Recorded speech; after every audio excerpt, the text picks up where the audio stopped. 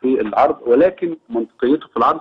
لكن أنا كوزارة تموين مش معني إن أنا أكون جهة تحقق من المستندات المقدمة إلي من المواطنين. وبناء عليه أي بيان بيقدم من المواطن هو بيبقى مسؤولي- مسؤوليته. يعني يا فندم لما أقول له هات لي شهادة دخل المفروض إن أنا بفترض إن الشهادة دي صحيح. صحيحة من جهة عمل. إذا ثبت إذا ثبت عكس ذلك بيتم حرمانه من الخدمة التموينية.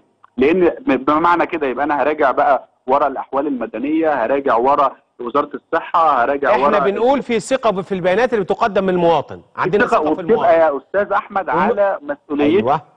يعني أنت يا فندم لما بتقدم على أي معاملة في جهة حكومية بتمضي تحت وهذه البيانات آه، تم آه، ملء الاستمارة أو كذا على بناء على مسؤولية المواطن. نعم. طيب؟ فأنا بفترض فيه إن هو مواطن يعني حسن النية حسن حسن النية. النية. طبعا. تمام. طيب.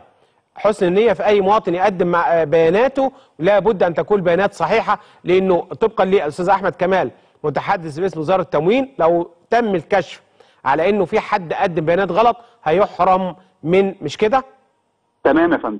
أستاذة نشوى بشكرك. أستاذ وائل مساء الخير. أهلا بيك.